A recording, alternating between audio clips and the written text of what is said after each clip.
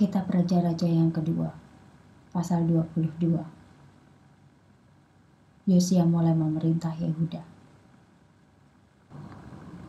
Yosia berumur 8 tahun ketika ia menjadi raja dan memerintah selama 31 tahun di Yerusalem.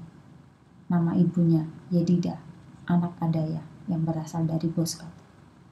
Ia melakukan hal-hal yang benar menurut Tuhan dan mengikut Allah seperti nenek moyangnya, Daud ia tidak pergi ke kanan atau ke kiri. Yosia menyuruh memperbaiki rumah Tuhan.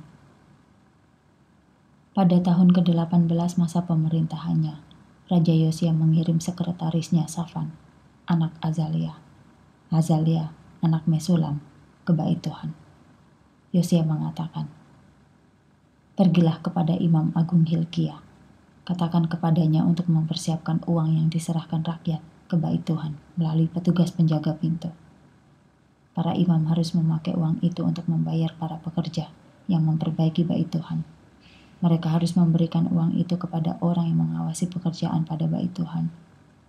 Pergunakan uang itu untuk membeli kayu dan batu hiasan yang dibutuhkan untuk perbaikan bait Tuhan. Jangan hitung uang yang diserahkan kepada pekerja, sebab mereka dapat dipercayai kitab Taurat ditemukan dalam bait Tuhan. Imam Agung Hilkia berkata kepada Safan, sekretaris itu, Lihatlah, aku telah menemukan kitab Taurat di dalam bait Tuhan. Hilkia memberikan buku itu kepada Safan, dan Safan membacanya. Sekretaris Safan pergi kepada Raja Yosia dan melaporkan kepadanya. Hamba-hambamu telah mengumpulkan semua uang yang ada di rumah Allah dan menyerahkannya kepada pengawas pekerjaan perbaikan rumah itu. Kemudian sekretaris Safan mengatakan kepada raja, Imam Hilkiah juga memberikan buku ini kepadaku. Safan membacakan buku itu kepada raja. Ketika raja mendengar perkataan-perkataan dari kitab Taurat, ia mengoyakkan pakaiannya, menunjukkan bahwa dia sedih dan marah. Raja memberi perintah kepada Imam Hilkiah, Ahikam, anak Safan, Akbor, anak Miha, sekretaris Safan, dan Asaya, pembantu raja. Raja Yosia mengatakan, Pergi dan tanyalah Tuhan apa yang harus kita lakukan. Tanya tentang aku, tentang rakyat, dan tentang seluruh Yehuda. Tanyakan tentang hal-hal yang tertulis dalam buku yang ditemukan itu. Tuhan marah terhadap kita karena nenek moyang kita tidak mematuhi yang dikatakan dalam buku itu. Mereka tidak melakukan semua perintah yang tertulis untuk kita.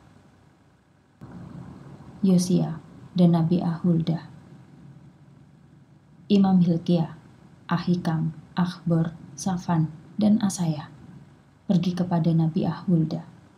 Hulda istri Salum, anak Tikwa. Tikwa, anak Harhas yang mengurus pakaian imam. Hulda tinggal di wilayah baru bagian Yerusalem mereka pergi dan berbicara kepada Hulda. Kemudian Hulda berkata kepada mereka, Tuhan Allah Israel mengatakan, Katakanlah kepada orang yang menyuruh kamu menemui aku. Tuhan mengatakan, Aku akan membawa bencana ke tempat ini dan juga orang yang tinggal di sini. Itulah bencana yang disebutkan dalam kitab yang telah dibaca Raja Yehuda. Orang Yehuda telah menjauh dari aku dan membakar kemenyan untuk dewa-dewa lain yang membangkitkan amarahku. Mereka membuat banyak berhala. Karena itulah, aku menunjukkan amarahku terhadap tempat ini. Amarahku seperti api yang tidak dapat dipadamkan. Yosia Raja Yehuda telah menyuruh kamu minta petunjuk dari Tuhan. Katakan kepada Yosia, Tuhan Allah Israel telah mengatakan yang sudah kau dengar itu. Engkau telah mendengar yang telah kukatakan tentang tempat ini dan orang yang tinggal di sini. Engkau bersedia mendengarkan dan merendahkan dirimu sendiri di hadapan Tuhan ketika engkau mendengar hal itu. Aku telah mengatakan bahwa hal yang dahsyat akan terjadi atas tempat ini. Engkau telah mengoyakkan pakaianmu dan menangis. Itulah sebabnya aku mendengar keluhanmu. Demikian firman Tuhan. Aku akan menghimpun engkau bersama nenek moyangmu, dan engkau akan mati dengan tenang. Matamu tidak akan melihat semua bencana yang akan kubawa ke tempat ini. Kemudian Imam Hilkiah, Ahikam, Akhbor, Safan, dan Asaya memberikan pesan itu kepada raja.